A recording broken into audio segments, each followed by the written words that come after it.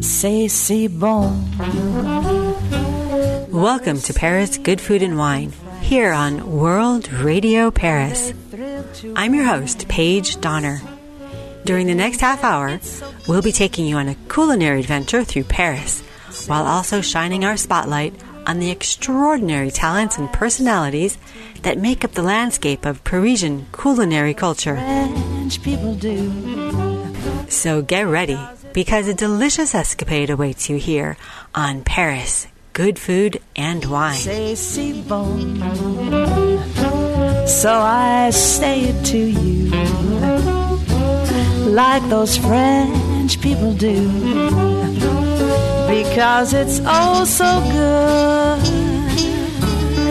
Everyone. I'm Paige Donner, your host of Paris Good Food and Wine. In this program of Paris Good Food and Wine, we'll be looking at how French diplomats view the state of French gastronomy and why they appear to be somewhat concerned. Next, we'll hear from Remy Krug, who talks to me about the organization he chairs devoted to the study of French gastronomy and the art of fine dining called the Haute Étude de Goût. Then, we'll bring you a taped interview with our featured guest restaurant reviewer, Alec Lobrano, who had recently returned from his whirlwind U.S. book signing tour for his beloved Hungry for Paris and Hungry for France dining guides. He will also then share with us a review of one of his favorite Parisian left bank bistros. Last up is our market report by Emily Dilling, founder of the blog Paris Paysan, with her insider's tips of what's best right now at Paris's fresh markets.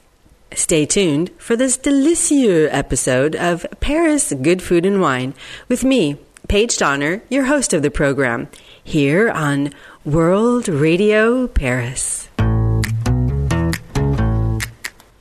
French diplomats launch a gastronomic fight back. This was the thrust of a recent article featured in expatica.com discussing the state of affairs of French cuisine vis a vis other countries, such as Japan, Brazil, Spain, Denmark, and Britain. Late in 2014, it was announced that Eataly, the Italian culinary specialty superstore that sprawls thousands of square feet wherever it lands, will soon be coming to Paris. The rumors have it that the owners are in talks with Galerie Lafayette to house the new space in the Marais, just near the BHV. To share a few numbers indicating this gastronomic success story, their four Eataly locations in Tokyo last year welcomed 20 million customers. Their overall worldwide market share grew 200 million euros last year, from 400 to 600 million in annual revenue. Is there an equivalent of Eataly for French cuisine? Not yet. Neither are there any rumors currently floating of creating something along those lines. Philippe Faure, co chair of the Council for the Promotion of Tourism, was quoted in that December article as stating, We have to showcase the big establishments, and then we have to improve bistros and small restaurants. They are not often very good, and often they are expensive. In another sweeping gesture, French Foreign Minister Laurent Fabius has announced, along with chef Alain Ducasse, that in March of this year, on the day known as the Goût de France or Taste of France, all around the world, French restaurants and French embassies will be serving the very best that France has to offer as a concerted initiative to share the country's gastronomic heritage with the rest of the world. That day is scheduled for March 19th, 2015. So, mark your calendars. You're listening to Paris Good Food and Wine. I'm your host, Paige Donner. Stay tuned for my interview with Remy Krug up next. He's the chairman of Études du Goût, an organization that is devoted to the world of French gastronomy and the art of fine dining. So we're here in Reims, and I'm just going to introduce you, Mr. Krug, for a moment. So uh, you are the chairman of the Haute Etude du Goût, and from the day of its foundation in 2004, uh, the Institut des Hautes Hautes Etudes du Goût de la Gastronomie et des Arts de la Table, whose aim was to promote the art of gastronomy and fine dining on the national and international stage thanks to a top quality, multidisciplinary educational program, has been supported by University of Reims Champagne-Ardenne, who decided to grant its students a university diploma entitled Diplôme universitaire du goût de la gastronomie et des arts de la table. And today's symposium and conference celebrating your 10th year now uh, was sponsored in part by Le Cordon Bleu, which has been a dedicated partner of Hautes Etudes du Goût from the very beginning and also awards the certificate to the students. So as the founder, Mr. Krug, please, can you tell us a little bit about, you know, now that you're in your 10th year, what has the evolution been? When I'm back a little more than 10 years ago, and for me it is like uh, yesterday, I was asked to join a conference, a presentation of a project about creating an institute on taste and gastronomy. And people were asking for my support as well as other you know winemakers and people from the wine and food uh, community. And I went there and say oh again another thing of that sort you know. I go there to be polite. I will listen and then I will come back home quickly. And then when I was presented the program the project I was absolutely staggered. I thought it was, it's fabulous because it was the first time ever that we were presented by a program that would encompass every facet of the world, the universe of gastronomy, taste, and de la table. You know, each of the disciplines, whether, you know, cooking, sommelier, uh, welcome, hospitality, blah, blah, blah, all that, each of these disciplines have uh, fantastic schools in France. They have fantastic training and and improving program, tra- uh, further training and uh, program stuff. But no one has so far had the idea to create something on top above that to uh present a program that we, is a cross section that transcends every single discipline or job, uh, but uh, covers the the entire thing in what it means. What is the knowledge, the latest knowledge on what happens with you when you taste a wine or food? What happens, you know, everything you have to know about what is behind. It's not about learning about how to cook or how to make wine or whatever. No, not at all. But what is behind all that and what are the latest knowledge, the scientific knowledge and human and sociological knowledge and neurophysiology knowledge and that. And I said, I heard that. I said, well, you know, I I've been loving food. I've been a food lover from, you know, my childhood. And of course, being uh, the chairman of the House of Krug, food was my theater. You know, I was friend of all the top restaurateurs of the world and top sommeliers, etc. So I thought, wow, you know, this is fantastic. I would like to be one of her students. But I couldn't find that, you know, being a chairman of Krug, to take two weeks away from my job to do that. But at some stage, they asked for a president, a chairman of this institute, and they came to me and said, Would you chair that? And I said, Of course, I'd love it, and I would do that. And the dream we had was to knowing the multidisciplinary approach with covering so many facets and so many disciplines was to uh, echo that with a multi-origin uh, uh, students from many countries and many activities or jobs in the food and wine and, and gastronomy and other latab community. And I think it's a fabulous reward, and I say thank you, and I love you all. That's wonderful what you've just imparted, uh, Mr. Krug. And what if somebody is interested in enrolling in this two-week course that you offer every every year, the university program? How can they prepare, and what can they expect from the course? First, I would suggest that they go on our internet site, uh, which is uh, HEG dash. dash. Is it dash? Horizontal okay yeah. gastronomy.com I believe. Okay you can check on that. Yes. and then they have to see whether they understand this complex original unique uh, program and if they fit for it. And then uh, Colette Padet and myself and two other members we judge uh, and we select Well, that's wonderful. It's very inspirational, and I want to thank you very much for taking the time to, to talk to us today after this fantastic uh, conference that you just held right across from the Cathédrale de Reims, which is a very impressive uh, location. This cathedral, as you know, is where the coronation of the French kings took place. Because this is where, for the first time, a tribe, the head of a tribe in, in this area, uh, became Christian and from being pagan. And he was crowned here, he was baptized here at, this spot before the cathedral was built. And uh, the, the holy bulb was brought by a, by a bird in his beak, brought the holy bulb on, the, on top of the Archbishop Saint Remy to Christian Clovis, King Clovis. Ah. And that's from that moment, every king of France had to come here to Reims to be crowned. very inspirational. Thank you very much, Mr. Krug. Thank you. Thank you very much. I'm Paige Donner. Stay with us here on Paris, Good Food and Wine. Next, I'll be talking with Alec Lobrano, Paris Dining Guide author and our guest restaurant reviewer.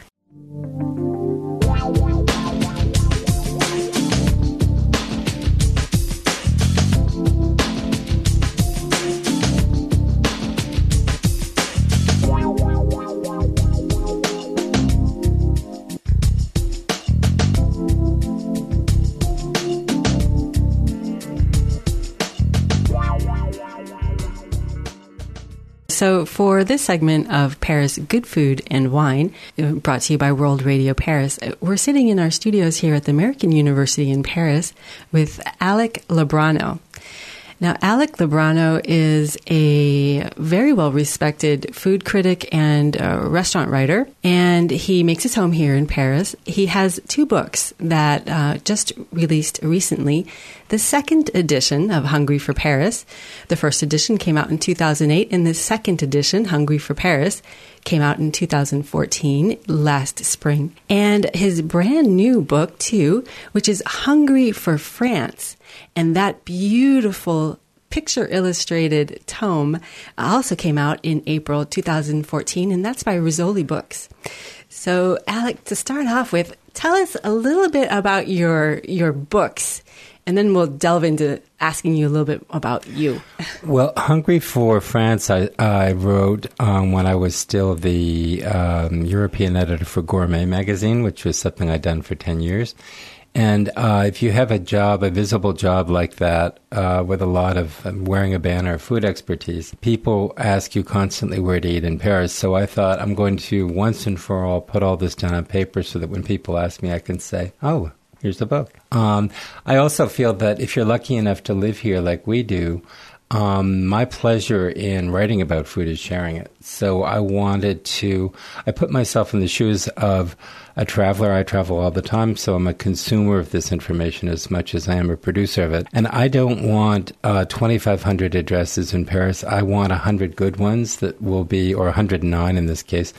Uh, good ones that will respond to different types of food, different neighborhoods, different atmospheres, different um, experiences of Paris itself. So it was a lot of work to winnow it down to 109 restaurants, but I think um, I think I've covered the waterfront pretty well. And I think uh, your readers agree with you too. Um, I like like I mentioned, I saw it front and center at Shakespeare and Company just the other day. How terrific! So, yes. Now, so then to turn the the spotlight onto you personally, so I know that you have you you had a fashion background, and now you're one of the most well respected uh, restaurant uh, critics and food writers here in in Paris in in France. How did you make that transition? Well, I moved. Um, I had been working for a newspaper in London before I moved to Paris, uh, and that was a serious editing job for a major paper in London. Um, I had a visa quandary, I think is the play way of putting it. So I came over here to wait for my visa visa issues in England to be uh, resolved, um, and took a job working for uh, Fairchild Publications, which is a large American fashion group. Um, I knew nothing about fashion. When Mr. Fairchild interviewed me, he said, I said, I don't know anything about fashion. And he said, That's not a problem. You learn or I'll fire you. Um, but uh, w Magazine, their glossy magazine, is not just fashion, it's also profiles, travel stories, the occasional bit of food writing. And it was when I started working for them and doing the food stories that I really found I was enjoying it a lot. And um, as a newcomer to Paris, the best way to learn the city I've found was through its restaurants. I didn't know anyone here. I was gifted with a big expense account, so I thought to myself, instead of being, you know, lone, lonely pants, I would go for it, and decided every single night I'd go out to a different restaurant. I learned to go to restaurants by myself. Um, it helped my French. It certainly taught me a lot about the city and a, a huge amount about French food. Bravo, because you've now shared uh, that insight. So you've saved uh, many of us the um, the rigors of going out and discovering uh, all these all these addresses. So thanks for the the service. My pleasure. the favor. All right. So then, when you're, you know, you mentioned just a moment ago about what you really love to do is share food. So I'm curious, Alec, when you're at home and you're just sharing a meal with friends you know, or, or family members. Uh, what do you? What's what's one of your favorite meals to to prepare, or, or even just to sit down to? Well, I, for me, I don't. I'm not as much of a recipe driven cook. What I love to do on a Saturday morning, in order to uh, remain enthusiastic about restaurants, I never go out on the weekend. So Saturday morning, I go to the market and um, I think, like many, most Parisians, I buy what looks best in the market of a given morning and then decide what to do with it when I get home. So there's no. Once in a while, I'll follow a recipe. Most of the time, I let the, the market tell me what to cook.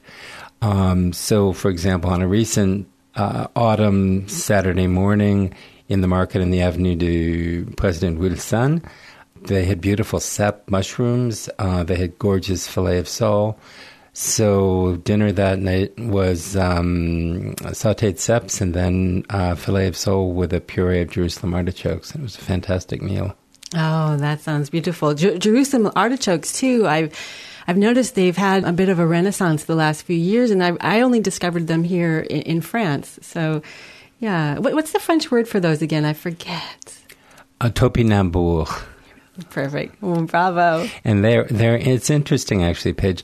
The French had a category of legumes or vegetables called légumes oubliés, or the forgotten vegetables, which included Jerusalem artichokes. A lot of them were forgotten because people ate them too much during the war.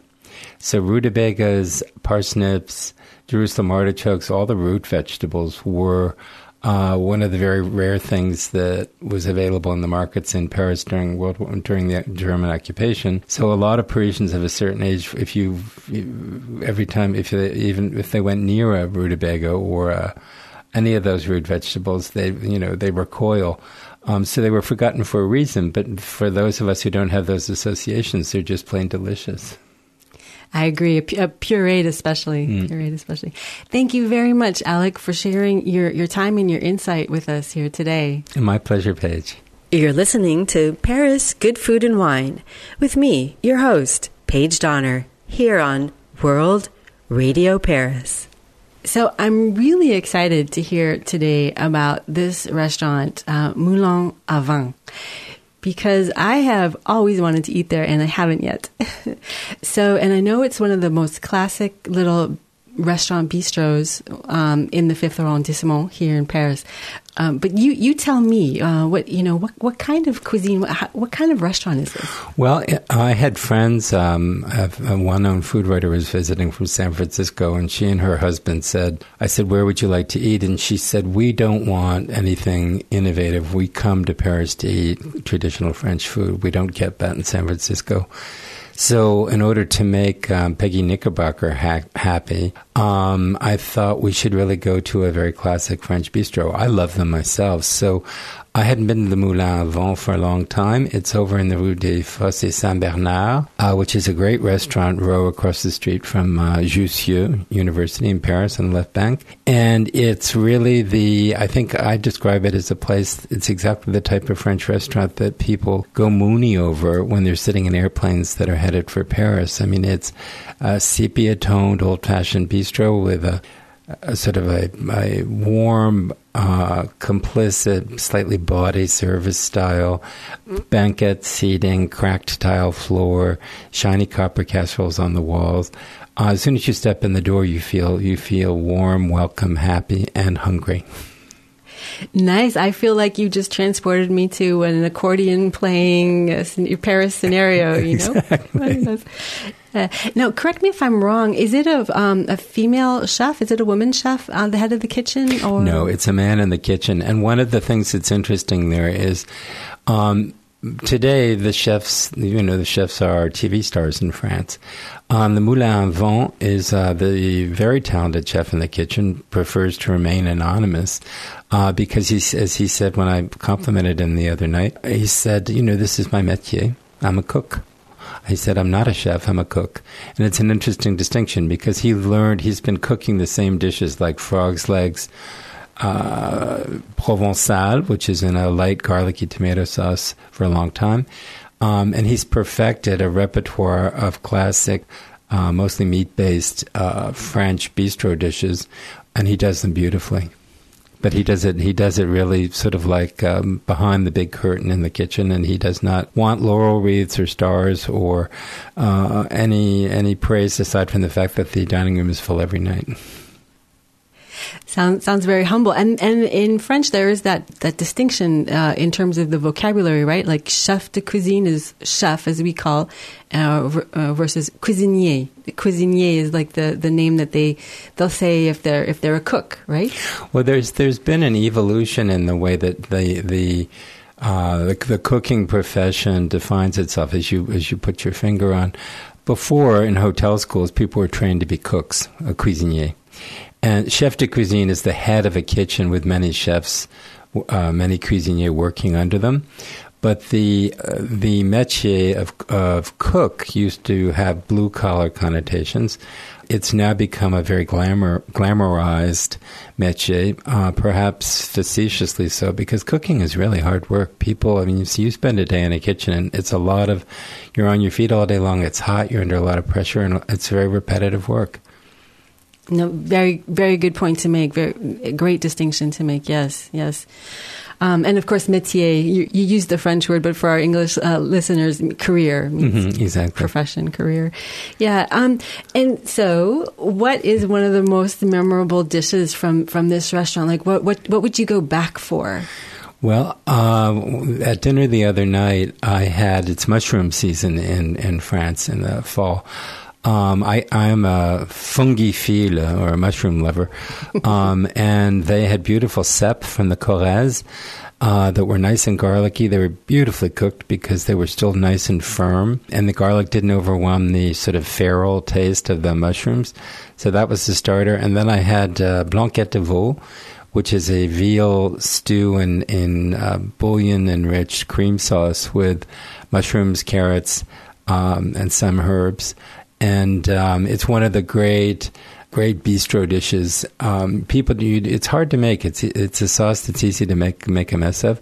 This was smooth satin, um, full of flavor and absolutely gorgeous. So when I see blanquette de veau on a menu, I, I, I often do order. It's one of my favorite dishes and maybe a good talisman too as to the quality of the kitchen. Yeah, that's a, absolutely very much so. Oh, great, great. Now the our our, our two cliffhanger questions. Uh, would you go back for for seconds? And, and, what kind of a rating would you give it? I'd go back in a heartbeat. Um, I think um, one thing I would point out for anyone who might be following in my footsteps, um, the Moulin à Vent is it's a little expensive. Um, it's about, I'd say, probably depending on what wine you drink, about 60 euros a head. Um, it's worth every penny.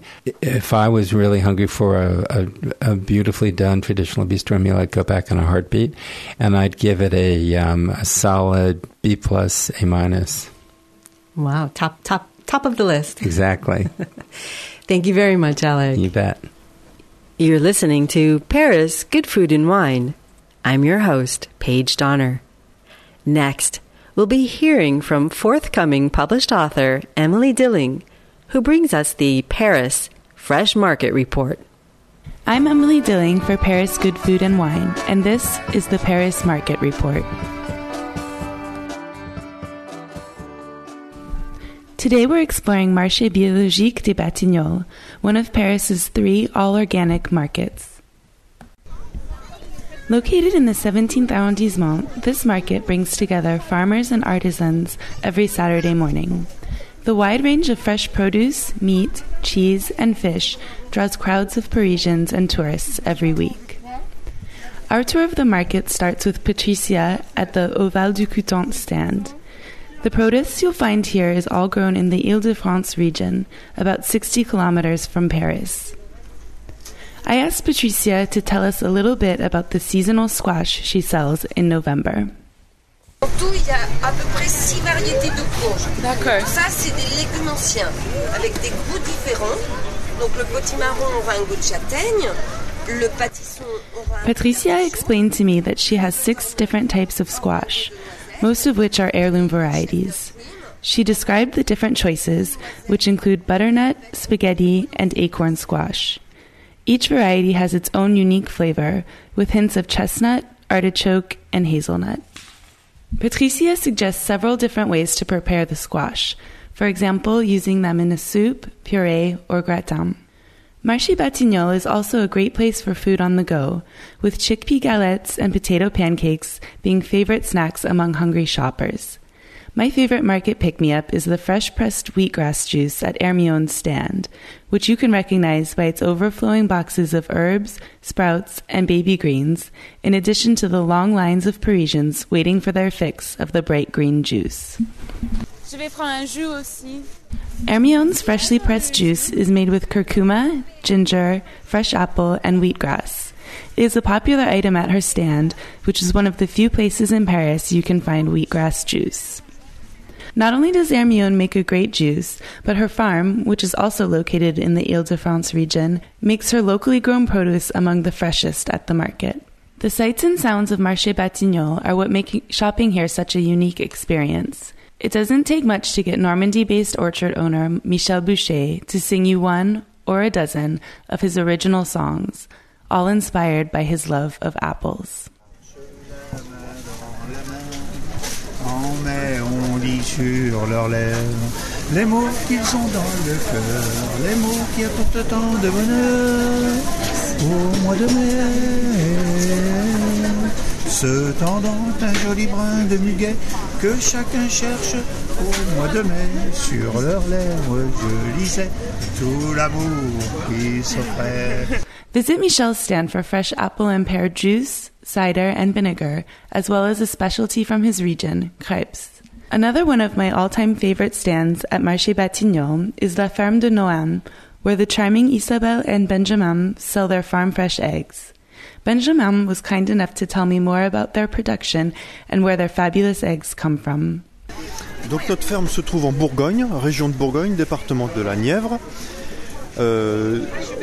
Benjamin and Isabel's farm is located in Burgundy, and it takes them over two hours to drive to market every week, which is quite a time commitment considering they go to three markets a week. They raise 1,200 free range chickens on their certified organic farm.